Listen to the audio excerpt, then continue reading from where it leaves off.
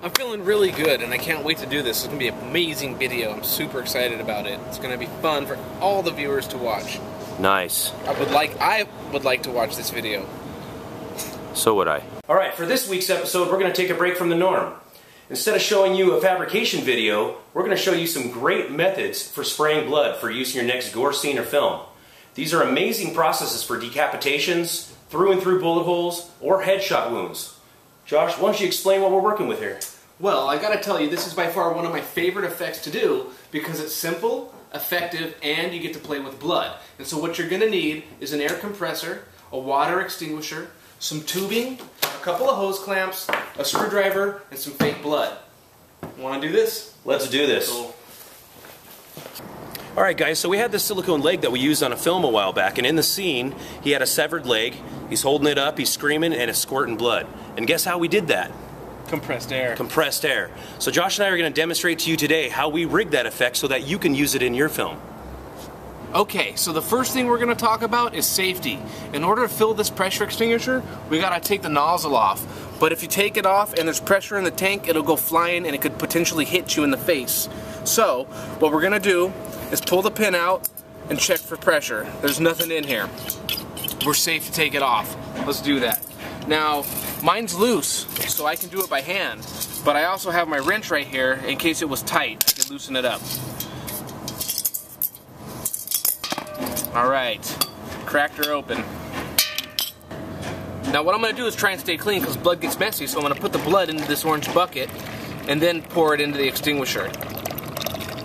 I like to put roughly a gallon. Uh, unfortunately, we don't have a gallon. This is a little bit less, but this will be more than enough to get the job done.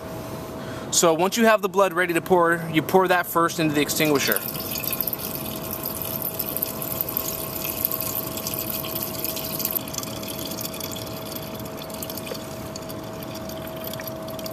Today, we're using Synblood. We spent two years on this recipe just to get the color perfect. We are in love with this color, this blood, which you can find on our website if you're interested in getting some. Now, moving on, we have our liquid in the tank. But in order to get the liquid to shoot out, we gotta fill it with pressure. So what we're gonna do is screw the top on tightly and then add our pressure. Let's screw the top on. Now, you can do it by hand just to get it on there and get it down, but once you get to the bottom, you're going to want to tighten it with a wrench. You don't want any of that pressure leaking out. So I just spin it around. Actually, I like to spin the tank. Now that's good and tight by hand, but let's use a wrench to make sure it's really tight. We don't want anything escaping out of the seal. Yep, that's on there. So now we're ready to fill up the extinguisher. You'll notice there's a gauge right here, and on the other side is where you put in your air. It's just like a bike tire or a car tire, so you need that fitting to get on there to put the air in. So we're using the same kind of nozzle you'd fill up your car with or your bike tire. It fits right on the tip of this and it will inject the air into the extinguisher. Let's do that. I normally like to go up to 90 psi and the tops is 100 psi, but for this particular gag, we don't need a lot of pressure. I might just go up to 50.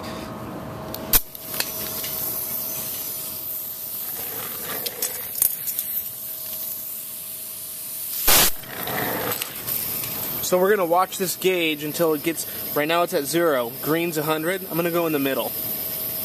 It takes a little bit of time, but it'll get there eventually.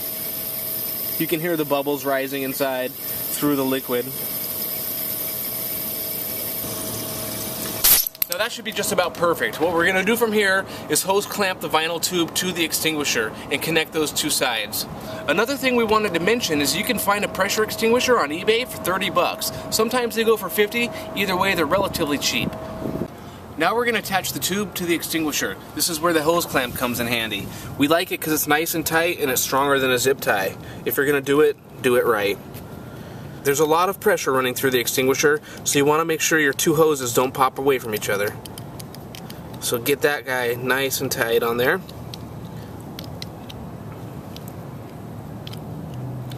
And now we're ready for the gag. Let's have some fun.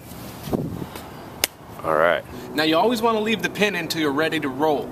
If it's out, you can accidentally hit the trigger and squeeze air and blood through the gag, and what that'll do is it'll ruin the wardrobe and get blood on everything. You'll have to reset, and now production's waiting on you. So remember, keep the pin in until you're ready to do the gag.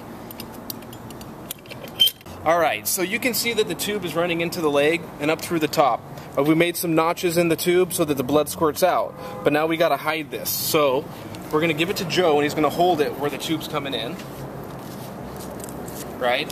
And then we're gonna tape the tube down his arm and run it up to, through his wardrobe. Now, if you look in the back a little bit here and how I'm kind of holding that, I'm putting that right into the palm of my hand. So we can just kind of, this naturally flexes right down my wrist. And that's where Josh is going to tape that. All right, so I'm gonna run this down his wardrobe. Now what I'm gonna do is run it down his shirt first, get it all the way through, and then run it down his pants. Might be a little awkward, as sometimes for some people. Some people don't like to be touched. It's in between the two shirts. There we go. Some don't care. This is the part I like. All right, it's going down. It's down by my knee.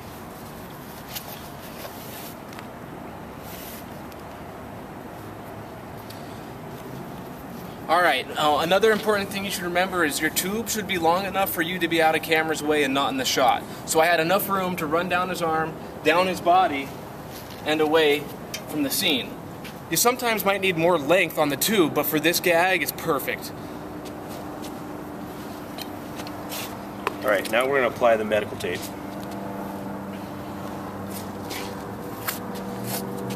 So they make different grades of medical tape. Some's clear, some's not. This stuff's white. I like the medical tape because it's made to stick to skin, so it won't fall off during the take.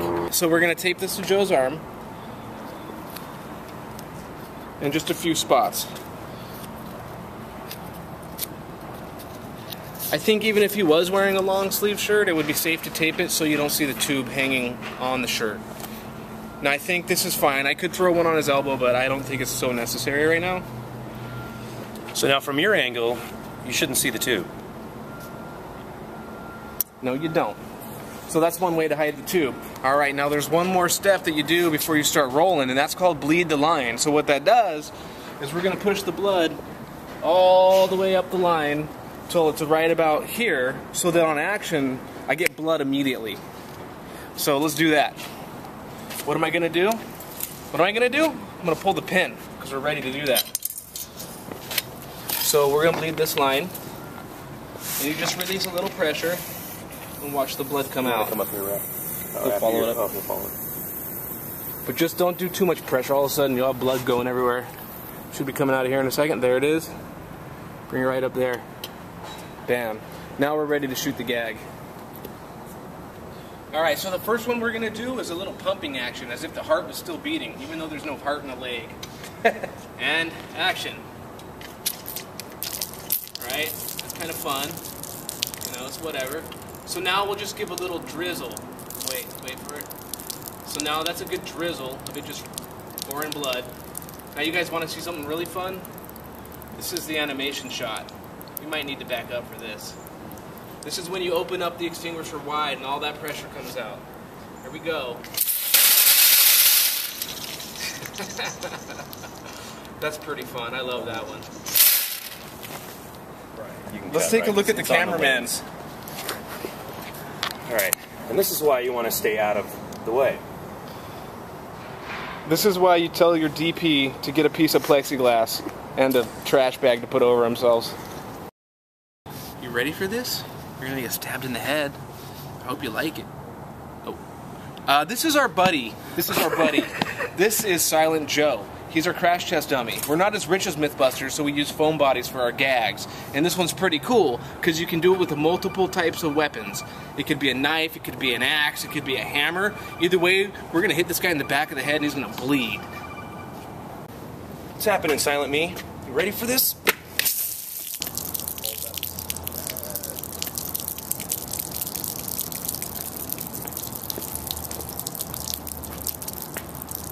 I need my knife back.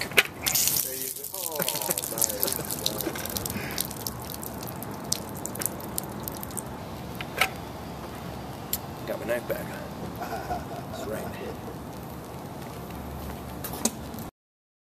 Alright, so in this next scene, we're gonna show you how effective a pressure extinguisher can be for doing an exit wound.